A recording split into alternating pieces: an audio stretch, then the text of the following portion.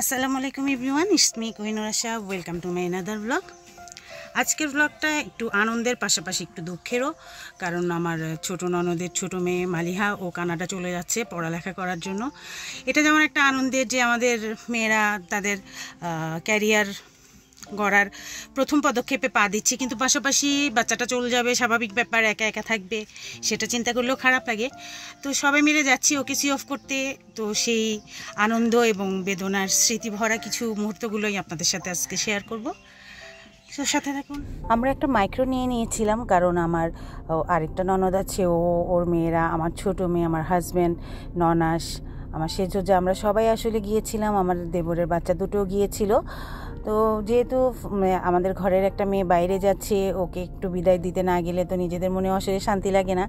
তো শেষ মুহূর্তে ও রেডি হচ্ছে এবং সবাই আস্তে আস্তে গাড়িতে উঠছে। তো আসলে এই জিনিসটা খুব কষ্টের, ও আমাদের ছেড়ে যাবে। ও চিরং থেকে ডোমেস্টিকে ঢাকায় গিয়েছিল। তারপর সেখান থেকে ভোর পাঁচটায় ওর ফ্লাইট ছিল। ট্রানজিট ছিল দুবাইতে, মোটামুটি বিশ ঘণ্টার একটা লম্বা লম্বা জার্নি তো সবাই সেটাই একটু টেনশন করছিল, মেয়েটা একা একা অনেকক্ষণ ঢাকা এয়ারপোর্টে বসে থাকতে হবে।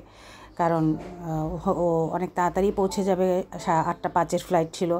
তো তারপরের দিন ভোর পাঁচটায় ওর কানাডার ফ্লাইট ছিল। তো লং টাইম বসে থেক- থাকতে হয়েছে। তা আল্লাহ রহমতে মাসাল্লাহ ও অনেক চালু ছিল যার কারণে ও সামাল দিয়ে নিয়েছে ওখানে যেও সব কিছু ওকে একা একাই করতে হয়েছে। আসলে ছোটোবেলা থেকেই আমাদের উচিত আমাদের বাচ্চাদেরকে এরকম স্বাবলম্বী করা।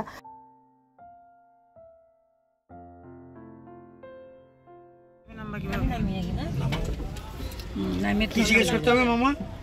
Domestic Chittagong to Dhaka domestic counter domestic US Bangla US বাংলাতে দেখা যাচ্ছে। ওই যে ইউএস বাংলা ওখানে লেখা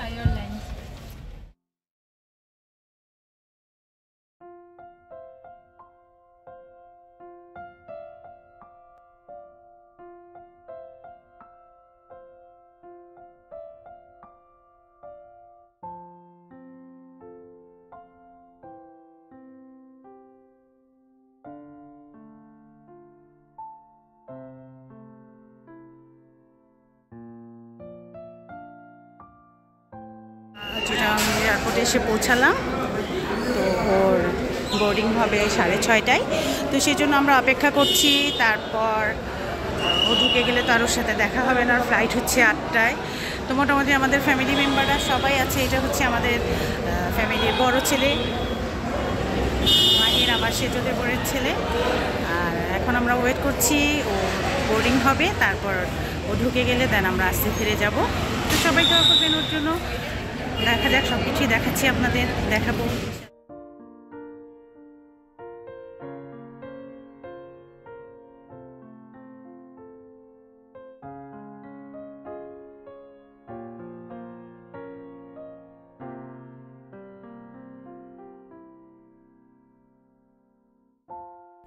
আমার হাজব্যান্ড ওর লাগেজগুলো সব ট্রলিতে তুলে ঠিক করে রাখল। মেয়ের টেনশনে সে অস্থির। মনে হচ্ছে সেই পারলে সাথে চলে যেত এরকম অবস্থা। তো আমরা সবাই দুষ্টামিও করছিলাম যে মনে হচ্ছে তুমি যাচ্ছ, বাচ্চারা বলছে যে মামাই মনে হয় যাচ্ছে, তো বিদায় নিচ্ছে, এরকম একটা অবস্থা। আসলে সন্তানদের প্রতি সব বাবা মার অনেক অনেক অন্যরকম একটা অনুভূতি কাজ করে, যেটা আসলে বলে বোঝানোর কথা না। আর আমার ননদ তো একদম চুপ হয়ে গিয়েছিল। আর এখন লাস্ট বিদায় নেয়ার পালা, কারণ ও ঢুকে যাবে। তো এই সময়টা আসলে বলে বোঝানোর মতো না কেমন লাগে। কারণ আপনি কিছুই করতে পারবেন না, আবার ওদের ক্যারিয়ারের কথাও চিন্তা করতে হবে। সেটা চিন্তা করে অনেক ডিসিশন নিতে হয়। তো সবাই যতটুক বলার ওকে বলে দেওয়া হয়েছিল আল্লাহর রহমতে ওর ওপর পুর- পুরো ভরসাটাই আমাদের আছে। কারণ ও সব দিক সামাল দিয়ে সুন্দর মতন চলতে পারবে। সবসময় আমরা সেই দোয়াটাই করি। এবং আল্লাহ যেন ওকে ওর যে আশা সে আশাটা পূরণ করে। এবং সে তৌফিক দান করে সই সালামতে সব কিছু সামাল দিয়ে চলার। মায়ের সাথে বিদায় নিচ্ছে।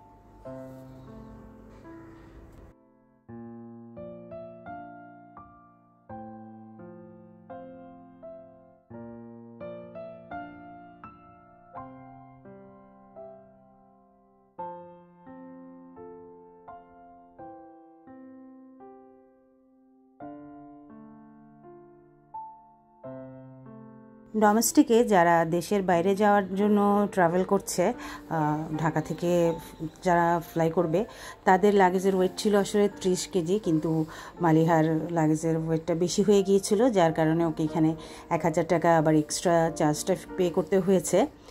আর বাইরেটা সে এখান থেকে মেপেই নিয়েছিল ফর্টি ফাইভ কেজি মেবি তো সেটাতে সমস্যা হয়নি, তবে এখানে কিছুটা চার্জ দিতে হয়েছিল। তা নর্মালি আমরা যারা ডোমেস্টিকে এখান থেকে মানে বাংলাদেশের মধ্যেই ইয়া করা হয়, যাওয়া আসা করা হয়, সেটার লাগেজের ওয়েটটা হচ্ছে বিশ কেজি। বিশ কেজি পর্যন্ত এক একজন প্যাসেঞ্জার ক্যারি করতে পারবে। তো বাচ্চারা একটু ক্ষুধার্ত হয়ে গিয়েছিল, ঢুকে গিয়েছিল, তারপর ওদের হালকা পাতলা নাস্তা করালাম। পাশেই একটা ক্যান্টিন ছিল, তবে তেমন কিছু ছিল না।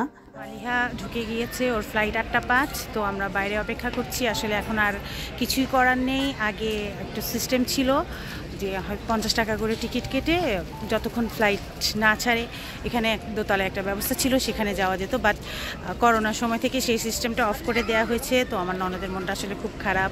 ওর ছিল, মেয়ে একদম ফ্লাইটে ওঠা পর্যন্ত। ততক্ষণ সে থাকবে মেয়েকে দেখবে।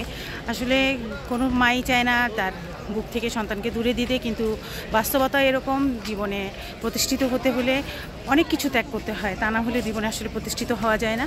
তো যাই হোক আল্লাহ ওকে সহি সালামতে পৌঁছাক এবং মানে ভালো রাখুক আর ওর যে মনের আশাটা সেটা পূরণ করুক। তো সবাই দোয়া করবেন। আমাদের সবার বাচ্চারা যেন তাদের নির্দিষ্ট গন্তব্যে পৌঁছাতে পারে, নিজস্ব যে চাহিদা বা ইচ্ছা, ওরা যেই লক্ষ্যে যেতে চায় সবভাবে থেকে সেটাতে করতে পারে। তো সবাই ভালো থাকবেন, আল্লাহ হাফেজ।